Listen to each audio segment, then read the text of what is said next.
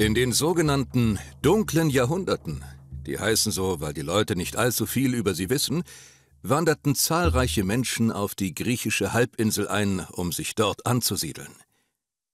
Aufgrund der Landschaft konnte hier allerdings kein Großreich unter einem einzigen Herrscher entstehen. Berge und Meer setzten unseren Vorfahren natürliche Grenzen.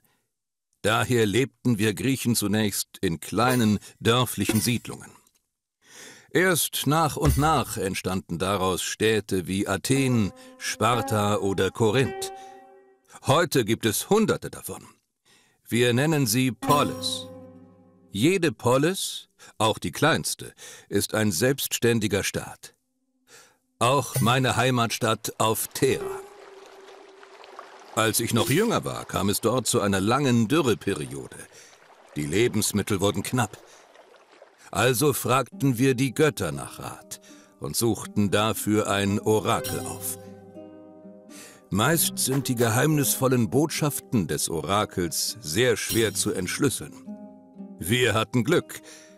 Die Götter befahlen uns, eine Kolonie in Libyen zu gründen und uns dort anzusiedeln.